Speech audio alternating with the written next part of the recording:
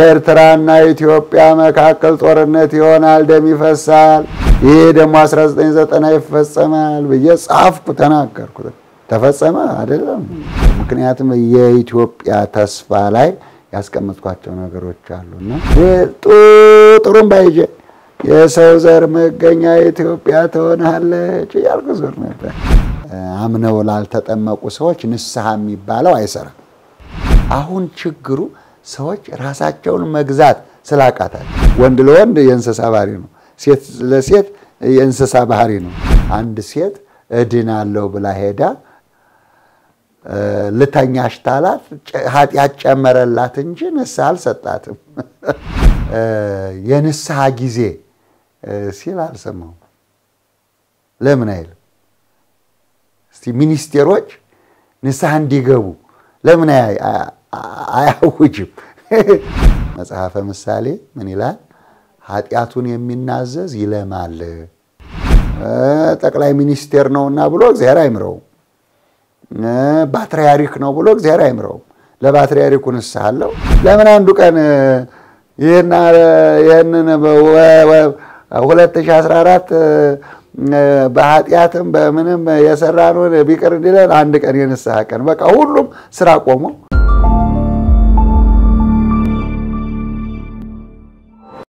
እስቲ ከዚህ በፊት ተቀባይነትን በተመለከተ ከተቀባይነት ጋር በተያያዘ ምን ያህል ተሳክቷል? አሁን እንደዚህ ከሚያዩዋቸው ትንቢቶች የትናንትናውን አይተናል። እንግዲህ በሰባት ወጥተው በ18 የጀመረውን አይተናል። እንደዚህ አይነቶቹ የተሳኩና የተሳኩትን ብንተዋቸው ያልሆኑ አሉ እርስዎ ካዩዋቸው ትንቢቶች መካከል ወይም ደግሞ ሌሎች ሰዎችስ ምን አይነት ምልከታ አላቸው? አጠር አድርገው ይንገሩኝ። በጣም ጥሩ ነው። ያልተፈጸሙ ጊዜ የሚጠብቁ አሉ። ጊዜ የሚጠብቁ አሉ። እኔ ከተናገርኳቸው በሰባ ሰባት በሰባ ስምንት በሰባ ዘጠኝ በደርግ ጊዜ ከተናገርኳቸው አብዛኛዎቹ ተፈጽመዋል። ከዛ ደግሞ በኢህአዴግ የተናገርኳቸው አብዛኞቹ ተፈጽመዋል። ለምሳሌ የሚነግሩኛል? በዶክተር አብይም የተናገርኳቸው አብዛኛዎቹ ተፈጽመዋል። እንደ ምሳሌ ብልህ አሁን በደርግ ጊዜ ደርግ ሰባ 83 ዓመተ ምህረት አይዘልም ጡርምባ ይዤ እየዞርኩ ማለት ነው። ስለዚህ ተፈጸመ። በኢህአዴግ ጊዜ የምነግርህ ኤርትራና ኢትዮጵያ መካከል ጦርነት ይሆናል፣ ደም ይፈሳል፣ እሳት አደጋ የማያጠፋው እሳት ኤርትራ ይነሳል፣ ንስሐ ግቡ፣ ተመለሱ። ይሄ ደግሞ 1990 ይፈጸማል ብዬ ጻፍኩ፣ ተናገርኩ። ተፈጸመ አይደለም ብዙ ደም ይፈሳል ብዬ ነበር እና አቡነ ጳውሎስና አቶ መለስ ዜናዊ ሁለት ሺህ አራት አይዘሉም ሐምሌና ነሐሴ አይዘሉም ብዬ አወጣው። አቦል መጽሔት አወጣው ተናገርኩ። እንደዚህ ሁለት ሺህ አራት ሐምሌና ነሐሴ አይዘሉም ብዬ አባይ ሳይገደብ ከአስር ዓመት በፊት አባይ ይገደባል። የግብፅንም ደግሞ ስጽፍ በአባይ ላይ የምታደርገውን በቅኔ ስናገራቸው አባይ ጤሰ ምንድን ነው እሱ ሱሪ ልበሱ ብዬ ጽፌ ነበር። አባይም የምታጨሰውን አውቃለሁ። አባይ ሳይገደብ ደግሞ አባይ ይገደባል፣ በአባይ ላይ ፀሐይ ይወጣል እያልኩ እናገር ነበር። ከዛ መለስ ዜናዊ ሄዶ ገደበው፣ መሰረት አስቀመጠ ማለት ነው እና ያ ያ አሁን በጽሁፍ ነው እኮ ደግሞ እኔ ዝም ብዬ አይደለም፣ በጽሁፍ እጽፋለሁ፣ መጽሔት አወጣለሁ፣ መጽሐፍ ጽፋለሁ፣ በኢንተርኔት እልካለሁ፣ በወረቀት አባዝቼ በትናለሁ። ያ ነው እና ሁሉም ይሆናሉ። የቀሩኝ ጥቂቶች ናቸው። ምክንያቱም የኢትዮጵያ ተስፋ ላይ ያስቀመጥኳቸው ነገሮች አሉና እነዛ ነገሮች ለምሳሌ በሰባ ሰባት በሰባ ስምንት ኢትዮጵያ የሰው ዘር መገኛ ትሆናለች፣ የሰው መዳኛ ኢትዮጵያ ነው እያልኩ ዞር ነበረ። አሁን ድንቅነሽ ተገኘች፣ የሰው ዘር መገኛ ኢትዮጵያ እኔ ግን አሁን ድንቅነሽ የመጣችው አሁን ነው። እኔ ግን ሰባ ሰባት ሰባ ስምንት ጥሩምባ ይዤ የሰው ዘር መገኛ ኢትዮጵያ ትሆናለች እያልኩ ዞር ነበር። አሁን የሰው ዘር መገኛ ኢትዮጵያ ሆነ። ይገርማል በጣም አሁን ከአሁኑ ትውልድ ጋርስ ከዶክተር አብይ ጋር እንደው የሚያነሱልን አለ ጥቂት ነገር እንግዲህ እነሱ ሳይመጡ የጻፍኩት ነው። እነሱ ሳይመጡ እነ ዶክተር አብይ ሳይመጡ የጻፍኩት ነገር ነው። አምስት ዓመት ስድስት ዓመት የጠበቀ ነገር አለኝ። ፈረሰኞች ፈረሰኞች ይገባሉ አዲስ አበባ። እና ያው መጽሐፉን ብታነበው ደስ ይለኛል። በር ክፈቱ፣ መንገድ ጥረጉ፣ ፈረሰኞች ይገባሉ ብዬ። ፈረሰኞቹ እንግዲህ ተተርጉ እሺ መልካም እንግዲህ። እሺ ንስሐ መግባት ሲባል ለአንዳንድ ሰዎች ግልጽ ላይሆን ይችላል። ይህንን ሀሳብ እየሰጡት አሁን ዓለም አቀፋዊ ሀሳብ ነው እየሰጠን ያለ ነው። ስለዚህ ምናልባት ንስሐ መግባት ምን ማለት ነው? ንስሐ ግቡ ብለውን ነበረ። ውጭም የሚመለከቱ ሀገር ውስጥም የሚመለከቱ ሰዎች ንስሐ ምንድን ነው? እንዴት ነው ንስሐ መግባት ያለብኝ ይሆን? እንዴት ላገኛቸው እርሳቸውን ብሎ እንኳን እርሶን ለማግኘት ሊቸገር ይችላል። ሌሎች ሰዎችን ሊጠይቅ ይችላል እና እንዴት ነው ንስሐ መግባት ማለት? በዚህ እርሶ በሚከተሉት ሃይማኖት በኦርቶዶክሱ ሊሆን ይችላል ለኦርቶዶክሱ ቀላል ሊሆን ይችላል ሀሳቡ፣ ለሌላም እምነት ተከታዮች ላይከብድ ይችላል። ግን ውጭን ስላነሳን ሀያላን ሀገራትም ቢሆን ምን ማድረግ አለባቸው? ንስሐ መግባት አለባቸው ብለናል እና እንዴት ነው ንስሐ መግባት? ምን አይነት ንስሐ ነው ምገባው የሚል ጥያቄ ቢጠይቁ ምን አይነት ምላሽ ይሰጣሉ እርሶ? በጣም ጥሩ ነው። ንስሐ ሶስት ነገር ነው። ንስሐ ለመግባት የሚያስፈልገው ሶስት ነው።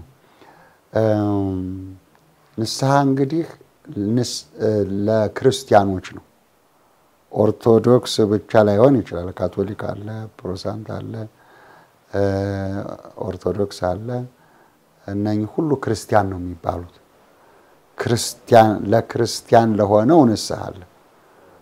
ላልተጠመቀው ንስሐ የሚባል ስለሌለው ማለት ነው። ምናልባት አምነው ላልተጠመቁ ሰዎች ንስሐ የሚባለው አይሰራም። አምነው ተጠምቀው ክርስቲያን ለሆኑ በዓለም ላይ ላለው እንዳልኩት ኦርቶዶክስም፣ ካቶሊኩም፣ ፕሮቴስታንቱም ክርስቲያን ነው በስሙ። ትክክለኛው የቱ ነው እግዚአብሔር ያውቀዋል። ነገር ግን የራሳቸው ንስሐ መግቢያ መንገድ አላቸው አላቸው ክርስቲያን ለሆነው ሁሉ የንስሐ ምዕራፍ አለው። ሁሉም አለው። ፕሮቴስታንቱም ጋር የራሱ ንስሐ መግቢያ አለው። ካቶሊካም የራሱ ንስሐ መግቢያ አለው። ኦርቶዶክስም አምስት አሃት ቤተ ክርስቲያን አለ። ኦርቶዶክስ የምንለው ደግሞ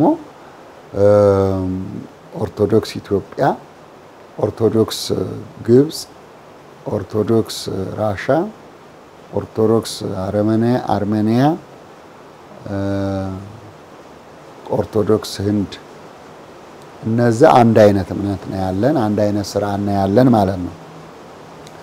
እነዚህ በዓለም አቀፍ ያሉ የኦርቶዶክስ ኢትዮጵያ ኦርቶዶክስ ብቻ ሳትሆን ኦርቶዶክስ የሆኑ ሌሎች ቤተክርስቲያን አሉ ለማለት ፈልጌ ነው። ከኛም ውስጥ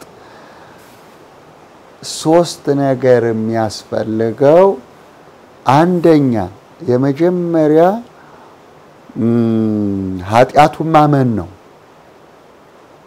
ዝሙት፣ እርኩሰት፣ መዳራት፣ ጣዖት ማምለክ፣ ሟርት፣ ጥል፣ ክርክር፣ ቅንዓት፣ ቁጣ፣ መለያየት፣ መናፍቅነት፣ ምቀኝነት፣ መግደል፣ ስካር፣ ዘፋኝነት፣ አድመኝነት ይሄ አስራ ስድስት ኃጢአት በገላትያ አምስት አስራ ስድስት ላይ ተጽፎ ይገኛል። የመንፈስ ፍሬና የስጋ ፍሬ ይባላሉ። አሁን የቆጠርኳቸው ያነበብኳቸው የስጋ ፍሬዎች ናቸው፣ የኃጢአት ውጤቶች ናቸው። ስለዚህ እነኚህ ሰርቻለሁ በድያለሁ ብሎ ማመን ነው የመጀመሪያው። ኃጢአት በመጽሐፍ ቅዱስ ተቆጥሯል። ኃጢአት ተቆጥሯል። ልድገመው፣ ዝሙት፣ እርኩሰት፣ መዳራት፣ ጣዖት ማምለክ፣ ሟርት፣ ጥል፣ ክርክር፣ ቅንዓት፣ ቁጣ፣ መለያየት፣ መናፍቅነት፣ ምቀኝነት፣ መግደል፣ ስካር፣ ዘፋኝነት፣ አድመኝነት ይህንን ያደረገ ሰው የእግዚአብሔር መንግስት አይወርስም። ቅዱስ ጳውሎስ ነው ያለው። ቅዱስ ጳውሎስ ይህንን አስራ ስድስቱን የኃጢአት መንገድ የፈጸመ ሰው ንስሐ ካልገባ አይድንም አይድንም። ስለዚህ በዓለም ላይ ደግሞ እነዚህ አሉ። ግድያው ቅም ነው አለ። ስለዚህ በዓለም ላይ ደግሞ እነዚህ አሉ። ስለዚህ እነኝህን የሚያደርግ ሰው አምኖ ንስሐ መግባት አለበት። አንዳንድ ሰው ምንድን ነው ያደረግኩት ምንድን ነው የሰራሁት ይላል። የሰራውን ይረሳዋል። ኃጢአት ደግሞ አይረሳም። ጽድቅህን ልትረሳው ትችላለህ። ለምን? ጽድቁን የሚያውቀው እግዚአብሔር ስለሆነ። የጽድቅ መንገዶች ዘጠኝ ናቸው። እነኝህን ብታደርግም አድርጊያለሁ ብለህ ልትመካበት አትችልም። እነዚህ አስራ ስድስቶቹ ግን የምንጸጸትባቸው ናቸው። ክፉን ስለሆነ ወንድሙን መግደል ክፉ ነው። ወንድም መጥላት ክፉ ነው። ጥላቻ ክፉ ነው። ስለዚህ ሰውን መጥላት ነፍስ መግደል ነው። ወንድሙን የሚጠላ ነፍሰ ገዳይ ነው ይላል። ጥላቻ መጥፎ ስለሆነ፣ መለያየት መጥፎ ስለሆነ፣ ምንፍቅና መጠራጠር መጥፎ ስለሆነ፣ ስለዚህ ክፉ ነገር ግብረ ሰዶማውያን፣ ጫት መብላት፣ ስጃራ ማጨስ፣ ይሄ ሁሉ ሕገ ወጥ ነው። ስለዚህ እንደ እግዚአብሔር እንደ እግዚአብሔር መንግስት ዘጠኙ ናቸው መንግስተ ሰማያት የሚያስገቡት። እነሱም እዚሁ ገላትያ አምስት ሀያ ሁለት ላይ ተጽፈዋል። የእግዚአብሔር መንግስት መግባት የምንችለዋል ፍቅር፣ ሰላም፣ ደስታ፣ ትዕግስት፣ ቸርነት፣ በጎነት፣ እምነት፣ የዋህነት፣ ራስን መግዛት ነው። እነኚህ ዘጠኝ ናቸው። እነኚህ ዘጠኙ ፍቅር፣ ሰላም፣ ደስታ፣ ትዕግስት፣ ቸርነት፣ በጎነት፣ እምነት፣ የዋህነት፣ ራስን መግዛት። አሁን ችግሩ ሰዎች ራሳቸውን መግዛት ስላቃታቸው፣ ራሳቸውን መቆጣጠር ስላቃታቸው ነው። ስለዚህ ይሄ ደግ ነገር ብሰራውም አትመካበትም። ነገ ላፈርሰው እችላለሁ ብለህ ስለምታስብ ማለት ክፉውን ግን ማጥፋት ይቻላል። ክፉውን በንስሐ ማጠብ ይቻላል። ክፉውን ለምሳሌ አንድ ሰው ሰው ቢገል ሰው ገለሃልና ገሃነም ትገባለህ አይባልም። ንስሐ ከገባ በንስሐ ይታጠባል። አዎ እግዚአብሔር መሐሪ ስለሆነ ይቅር ስለሆነ ከዘጠና ዘጠኙ ጻድቅ ይልቅ አንድ ንስሐ የገባ ይበልጣል ይላል። ስለዚህ ገድያለሁ ብሎ ማመን አለበት። ደም አፍስሻለሁ ብሎ በጥይት መግደል ብቻ አይደለም፣ በመጥረቢያ መቆረጥ ብቻ አይደለም፣ በጩቤ መውጋት፣ ድንጋይ ወርወሮ መግደል ብቻ አይደለም። በመኪናም ገጭቶ የገደለ ሰው እኮ ያው ነው። ሌላም ከማህፀኑ አስወረዳ ሽንት ቤት የጨመረችው አንድ ሰው አንድ ጽንስ አርባ ቀን ከሞላው ሰው ይሆናል። በመጽሐፋችን አርባ ቀን ከሞላው ጽንሱ ሰው ይባላል።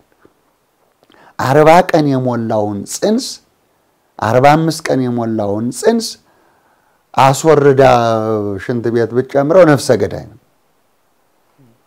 ሰው የሚመስለው ጥይት ተኩሶ ብቻ ወይ ተጋሎ በጦርነት ደም የሚፈሰው ይመስላል። ቤቷ ቁጭ ብላ ሐኪም ቤት ሄዳ ሽንት ቤት አስወርዳ የምትመጣ ሴትም ነፍሰ ገዳይ ናት። ስለዚህ ይሄ ሁሉ ኃጢአት ነው፣ ወንጀል ነው። አንድ ሰው ግን ይሄ ማመን አለበት ነው። ትልቁ ንስሐ ለሁላችንም የሚሆነው ማመን መጸጸት ማመን ነው። አንድ ሰው ካላመነ አይጸጸትም። ለምሳሌ አንድ ሰው ግብረ ሰዶም ሊሆን ይችላል፣ ወንድ ለወንድ ተጋብቶ ሊሆን ይችላል። ግን ወደ እግዚአብሔር ትዝ ሲለው ለካ እንስሳ ሆኛለሁ ብሎ ማሰብ፣ ምክንያቱም የእንስሳ ባህሪ ነው። ወንድ ለወንድ የእንስሳ ባህሪ ነው።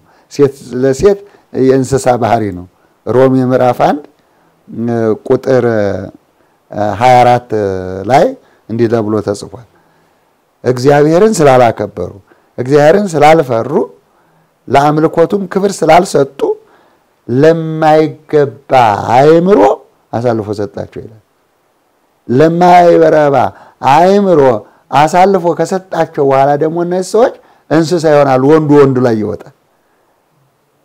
ሴቶችን መገናኘት ትተው ይላል እርስ በርሳቸው በፍትወት ተቃጠሉ ይላል። ስለዚህ አእምሮውን አሳልፎ የሰጠው ሰው አሁን እንግዲህ በሬ በሬ ላይ ይወጣ የለም መቼም እንስሳው አይደለም። በሬው በሬው ላይ ይወጣል፣ እንስሳ ነዋ።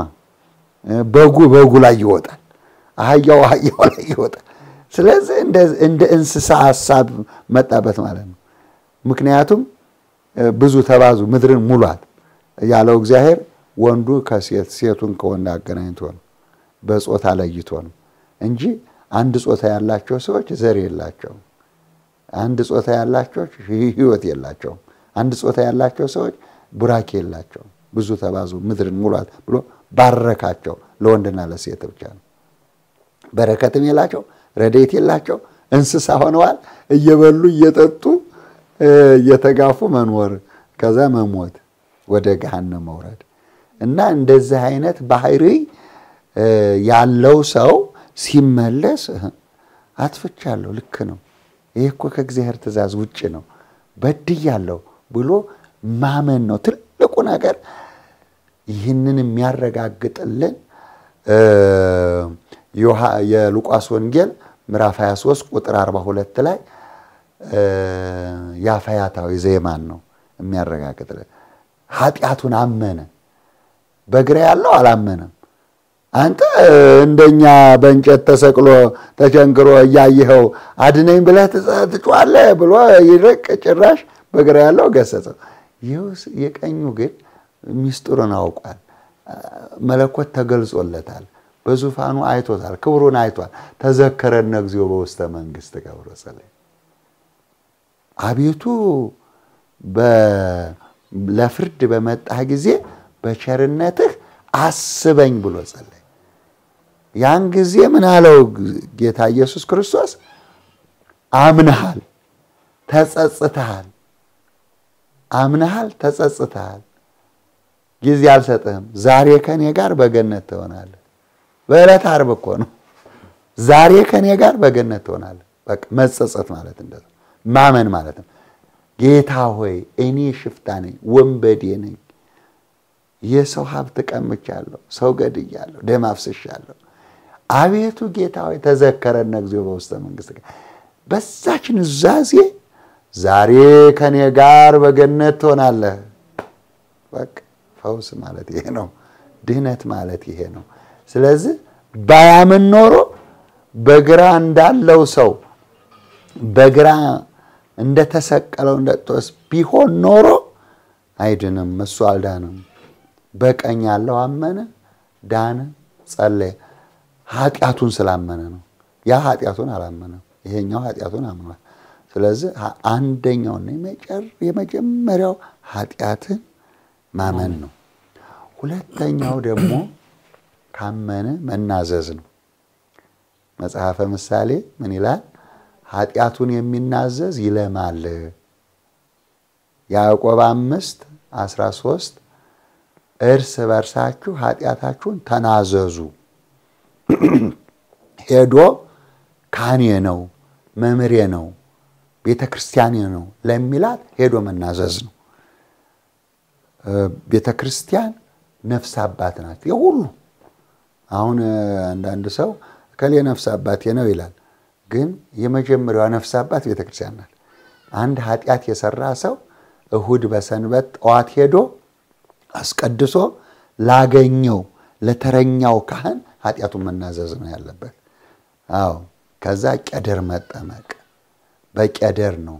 እኔ በውሃ ጠምቃችኋለሁ፣ እኔ ለንስሐ በውሃ ጠምቃችኋለሁ፣ ከእኔ በኋላ የሚመጣው በመንፈስ ቅዱስ ያጠምቃችኋል። የጌታ የኢየሱስ ክርስቶስ ጥምቀት ልጅነት ነው። የዮሐንስ መጥምቅ ዮሐንስ መጥምቀ መለኮት ቅዱስ ዮሐንስ ጥምቀት ግን ንስሐ ነው፣ የንስሐ ነው። ስለዚህ ቀንዲል ቀደር ይጠመቃል፣ ከበደለው እርኩሰት ይነጻል። በንጹሕ ውሃ እረጫችኋለሁ የንጹህ ውሃ የተባለ ሕዝቅኤል 36 24 ላይ በንጹህ ውሃ ከርኩሰታችሁ ትነጻላችሁ። ያ ቄደር አሁን ስትመጡ አይታችሁ እንደው እዛ ሰገነት እዛ ቄደር ነው ያ ሁሉ ህዝብ አበስ ገበርኩ ይፍቱኝ አባቴ ስትሉ ያያችሁት ከየሰፍሮ መጥቶ እዛ አሁን ኃጢአቱን እየተናዘዘ ነው። ቄደር ተጠመቀ። ለሰባት ቀን ቅኑና ይሰጠዋል። ዛሬ የተጠመቀው የሚጨርሰው የዛሬ ሳምንት ማስከኞ ይጨርስና መጥቶ ፍትሐ ዘወልድ ይደገምለታል። ስለዚህ ነፍስ አባት የምትባለው ቤተክርስቲያን ነች። ስለዚህ ቤተክርስቲያን ካቶሊኮችም በቤተክርስቲያናቸው ሳጥን አላቸው። ያ ካህኑ ሳጥን ውስጥ ነው የሚቀመጠው እንዳያየው የተናዛዡን ሰው እንዳያየው። ያ ግን በውጭ በሳጥኑ ቆሞ ኃጢአቱን ይናዘዛል፣ ቅኖና ተቀብሎ ይሄዳል። ያቺ ቤተክርስቲያን ተረኛ ካህን መድባለታለች፣ እዛ ይናዘዝ። የእኛም ኦርቶዶክስ ጠዋት ጠዋት እስከ አራት ሰዓት ፍታት ካለ የሞተ ካለ ክርስትናት አለ ይመደባሉ። እስከ አራት ሰዓት ከአራት ሰዓት በኋላ ነው ወደ ቤታቸው የሚሄዱት። በፕሮቴስታንትም እንደዚሁ በፕሮቴስታንት ደግሞ የራሳቸው የንስሐ ቀን የራት ቀን ምናምን የሚሏቸው አላቸው የራሳቸው እና የእነሱ እንኳን መቼም ፓስተሩ ማንሾመው ሚል ምክንያቱም አንድን ሰው ለኃጢአት ለማስተስረይ ሙሴ ተሾሟል፣ አሮን ተሾሟል፣ የአሮን ልጆች ተሾመዋል። እነሱን ደግሞ ማንሾማችሁ ቢባሉ ደግሞ እነሱም ራሳቸው ጥፋተኛ ስላለባቸው ሁሏቸው አይደሉም። ብዙዎች ግን ብዙዎቹ ራሳቸው ለኃጢአት አሳልፈው የሚሰጡ ናቸው። ራሳቸው ራሳቸው ሰውን ለራሳቸው ለኃጢአት ለምሳሌ አንድ አንድ ሴት እድናለሁ ብላ ሄዳ ልተኛሽ ታላት ኃጢአት ጨመረላት እንጂ ንስሐ አልሰጣትም። ሄዶ ከንፈሯን የሚመጣት ከሆነ የሚስማት ከሆነ ኃጢአት ጨመረላት እንጂ ንስሐ አልሰጣትም። ንስሐ ማለት እንድትጸጸት እንድትመለስ የሚያደርግ እንጂ በኃጢአት ላይ ኃጢአት የሚጨምርላት አይደለም። ሳር ብሎ ሳር የሚያስበላ አይደለም። ቤንዚል የሚያስጠጣ አይደለም። ጭራሽ እንስሳ እንዲሆኑ ሊድኑ መጥተው ሳር የሚበሉ ከሆነ እንስሳ ሆነዋል። ቤንዚል የሚጠጡ ከሆነ ከንፈራቸውን የሚመጠጡ ብልታቸውን የሚያሳዩ ከሆነ ይሄ ኃጢአት እያደገ የሚሄድ እንጂ የሚቀንስ አይደለም እና ብዙዎቹ ግን ተጸጽተው ተንደባለው አልቅሰው ከፈጣሪ ታርቀው በጾም በጸሎት ከእግዚአብሔር ጋር የሚገናኙ እነዛ ናቸው። እንግዲህ ኃጢአታቸውን የሚናዘዙ ሰዎች ሁለተኛው ስራቸው ነው ኃጢአት መናዘዝ። ፕሬዝዳንት ይሁን ጳጳስ ይሁን ቆሞስ ይሁን ማንም ሁሉም ንስሐ አለው። ፕሬዝዳንት ነውና ብሎ እግዚአብሔር አይምረው። ጠቅላይ ሚኒስቴር ነውና ብሎ እግዚአብሔር አይምረው። ባትሪያሪክ ነው ብሎ እግዚአብሔር አይምረው። ለባትሪያሪኩ ንስሐ አለው፣ ለጠቅላይ ሚኒስቴሩ ንስሐ አለው፣ ለፕሬዝዳንቱ ለፕሬዝዳንቷ ንስሐ አለው።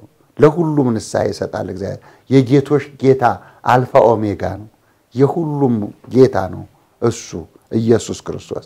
ስለዚህ በየቸርቻቸው በየቤተክርስቲያናቸው ሄደው ኃጢአታቸው ለሚያምኑት ካህን መናዘዝ ነው። ለምሳሌ አሜሪካ ሀገር ፕሬዚዳንት ክሊንተን ነው የሚባለው ክሊንተን ካቶሊክ ቤተክርስቲያን ሄዶ ሲናዘዝ ለዓለም እንዲታይ ተደርጓል። የሆነች ልጅ ቤተ መንግስት ተደፈረች ተብሎ በእሷ ምክንያት ሄዶ ካቶሊክ ቤተክርስቲያን ሄዶ ንስሐውን ሲናዘዝ አይተናል። በእርግጥ እንትን አያስፈልገውም። ይሄ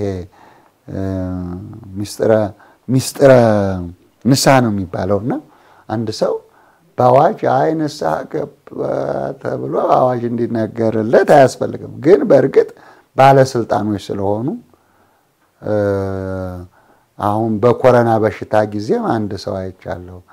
ጣሊያን ሀገር ያለው ጠቅላይ ሚኒስቴር የምድሩን ጨርሰናል ከሰማይ ነው የምንጠብቀው ሲል ይሄ መናዘዝ ነው፣ ማመን እኮ ነው። እግዚአብሔር ከእግዚአብሔር ካልሆነ በቀር በምድር ላይ የሞተውን መቅበር ካልሆነ ምንም አልሰራንም ነው። አዎ። ስለዚህ ይህ ትልቅ ነገር ነው። ከመሪዎች በተለይ ከመሪዎች እንዲህ አይነት ነገር እንዲህ አይነት ነገር አሁን እኔ ጠቅላይ ሚኒስቴር አብይ ጥሩ ስራ ያሰራል። ጥሩ ስራ በድሆቹም ላይ ይሁን በግድቡም ይሁን በማንም ብቻ ድሃን በመርዳት ይሁን የቤት መስራትም ይሁን ይችን ሀገር እንድታድግ ኢትዮጵያ እንድትሆን የሚለው ራዕይ ንግግር ጥሩ ነው። ግን አንድ ቀን የንስሐ ጊዜ ሲል አልሰማሁም። ለምን አይልም?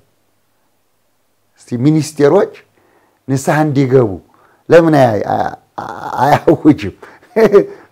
ምክንያቱም በራሱ በሃይማኖት በራሱ በሃይማኖት የንስሐ ቀን አንድ ቀን የጾም ቀን ለኢትዮጵያ አሁን የበጎ ቀን የእንትን ቀን የእንትን ቀን ይባላል። በመንግስት ለምን የንስሐ ቀን አይኖርም? አንድ ቀን በእርግጥ ባለፈው ጊዜ ለማድረግ ሞክረዋል። አይ እሱ ንስሐ አይደለም፣ የምስጋና ቀን ንስሐ አይደለም። እሱ የምስጋና ቀን ማለት እኮ ስላደረክልን አመሰግናለሁ ነው።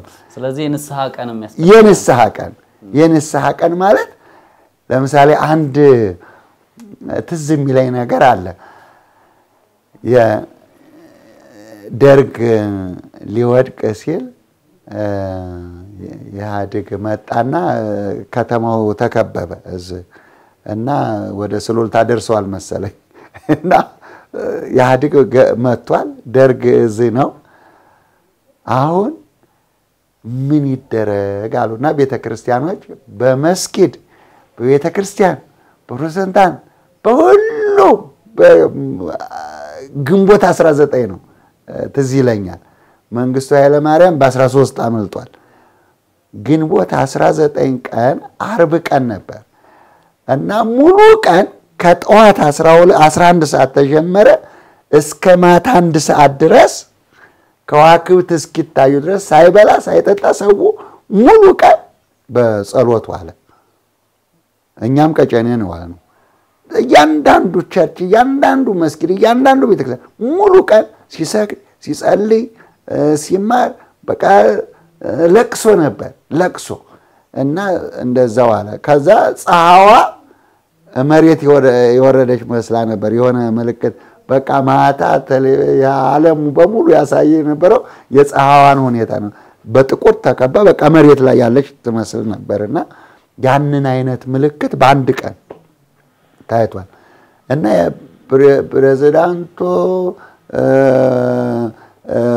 ጠቅላይ ሚኒስቴሩ፣ ሚኒስቴሮቹ በቃ የንስሐ ቀን ወይ ከወሩ ወይ ከዓመቱ ወይ ከቀኑ አንድ ቀን የለም የንስሐ ቀን።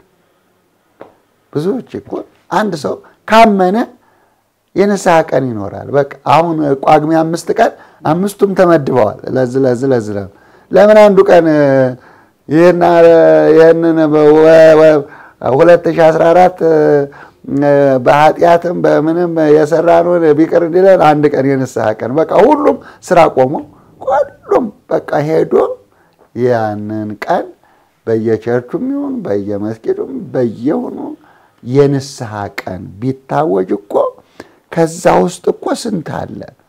በአንድ ቀን እኮ እግዚአብሔር የሚሰማው እንባውን አፍስሶ ተንበርክኮ ወድቆ ተንደባሎ። አንድ ቀን ሙያውን አንድ ቀን ሙያውን አይደለም። እስከ ያስኮ ያለቀሰው እስከ ስድስት ሰዓት ነው። በስድስት ሰዓት አስራ አምስት ዓመት ማግኘት።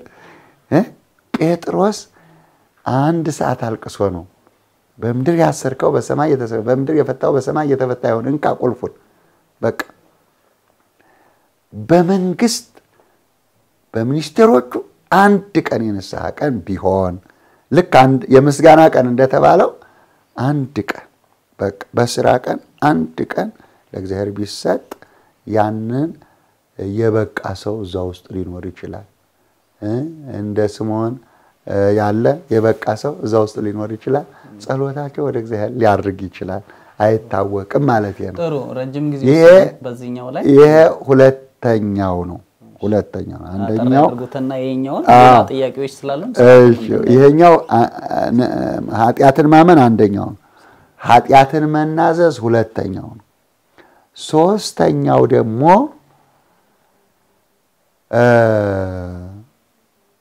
የተሰጠውን ቅኖና በትክክል መጨረስ ነው። ንስሐ የሚባሉት እነኚህ ሶስቱ ናቸው። አንድ ኃጢአትን ማመን፣ ሁለት ኃጢአትን መናዘዝ፣ ሶስት አንድ ሰው ሲናዘዝ ቅኖና ይሰጠዋል። ጾም፣ ጸሎት፣ ስግደት፣ ምጽዋት።